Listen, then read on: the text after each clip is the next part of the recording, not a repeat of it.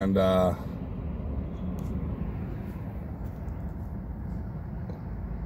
anyway, the point is that, I've been med- I've had the see the two um, the two washers, the, the chrome washers with the magnets.